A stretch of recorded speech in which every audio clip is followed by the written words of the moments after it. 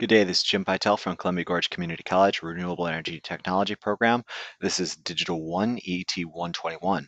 Today we're going to discuss using Karnaugh maps. Remember, our Karnaugh map is a systemized mean of minimizing our logic expressions.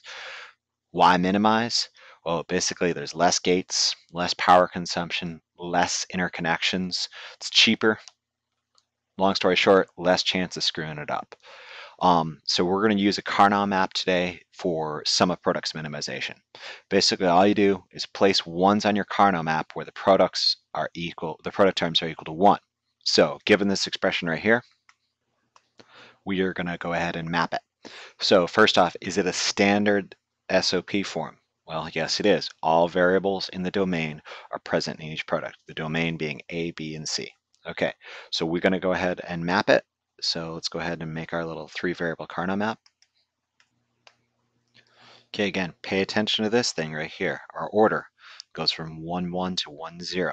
Okay, so we've got a not A and B, C, so that sounds like it's 0, 1, 1.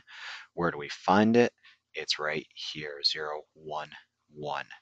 Okay, A, not B, C, so it sounds like a 1, 0, 1. Where is it? Right there. Okay, the next guy is 100. Where do you find him? Right there. Okay, the rest of them are zeros, but just go ahead and leave them off for now. Okay, so that's for a three variable. Let's try a four variable. And let's say we've got an expression x is equal to, oh geez, it's gonna be a long one. Let's do this. Try that on for size. So it looks like you've got a not A and B and C and not D, or A, B, C, not D, or A, B, not C, not D, or A, B, C, D. So let's go ahead and make our four variable Karnaugh map right here. So there's our four variable Karnaugh map. And it looks like our first term is going to be 0, 1, 1, 0. So 0, 1, 1, 1, 0 goes right there. Our second term is going to be three ones and a zero. So it sounds like that's going to put right there. Our, our third term, one, one, zero, zero, right there. And our last term is just all ones, right there. Pretty simple, huh? So that's just, that is mapping, excuse me, uh, basically mapping our expression to our Karnaugh maps.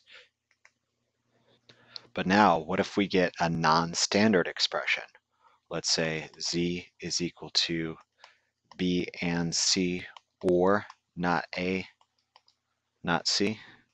So our domain is ABC, but we've only got an, a BC term and an AC term. So the first term is missing our A, our second term is missing our B. So we can go back and do the old A or not A times B and C. I should I said times. I shouldn't say times. I should say and. And we could also do the to get our B term back in this one right here is and not A not C. So we can do that. That's totally that's totally totally you can totally do that. We've already had a lecture about that, but you can also use this technique called numeric expansion to include all possible cases. So what numeric expansion is, expansion, if you think about it, let's just take our first term. B and C, it's going to be a 1 and a 1 there. But A can take any value from 0 to 1. So if you think about it, we can have 0, 1, 1 or 1, 1, 1, 1. Wait a second. I think that's too many ones. 1, 1, 1. Okay. Second term is not A, not C. So that's a 0, and that's a 0. B, however, could take any term from 0 or 1. So if we think about this, 0, 0, 0, 0, 1, 0. So what we need to map out is this and this. So let's put our three variable Karnaugh map together. So it looks like 0, 1, 1. It's going to be right there. triple one right there, triple zero right there, zero one zero right there. Pretty cool, huh? Now let's try that with this four variable expression not expressed in standard sum of products form.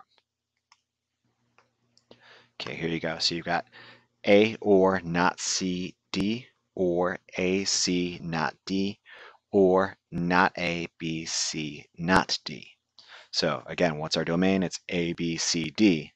And there's a bunch of uh, bunch of these terms here missing in it. So the first one, A, using numeric expansion. It's got to be 1.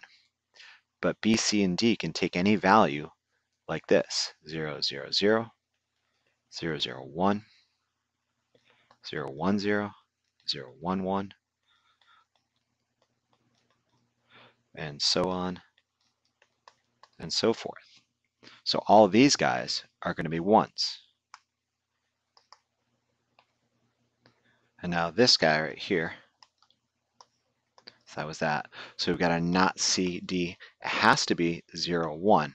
But A and B can take any form, 0, 0, 0, 1, 1, 0, 1, 1. And all these ones are going to be put on the Karnaugh map with 1s.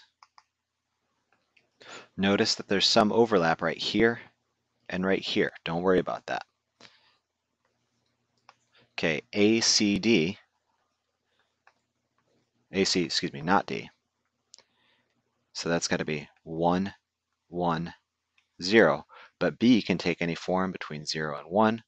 So we just go ahead and put 1, 0, 1, 0 and 1, 1, 1, 0 onto the Karnaugh map. But we find they're already there, right here and right here. Don't worry about that. Okay, the last guy, he's got all four terms. It looks like 0, 1, 1, 0. There you go. Okay, so that is how to map non-standard sum of products expressions onto a Karnaugh map. Okay, as we said, the whole purpose of a Karnaugh map is to minimize our resulting logic expression. So for minimization, there's three steps. Basically, we got to group our ones. So I'll write them down here. Minimization. There's three steps. Number one, group our ones. Number two is determine the group product term. Three, again, we're doing sum of products, so sum the results. Okay, the first step there, grouping ones, Let's talk about that one in a little more detail.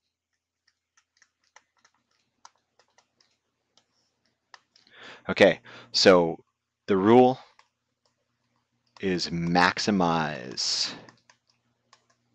the size of the group. Minimize the number of groups.